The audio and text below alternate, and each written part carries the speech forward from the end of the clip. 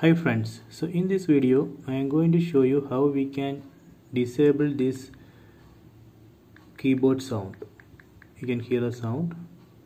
I am going to disable it.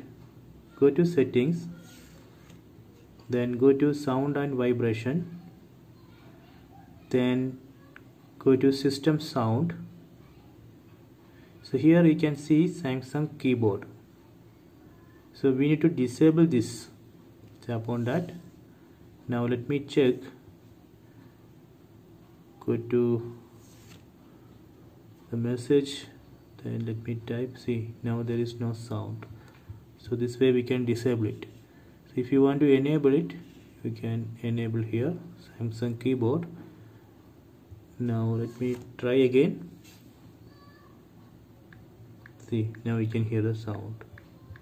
So this way we can enable and disable keyboard sound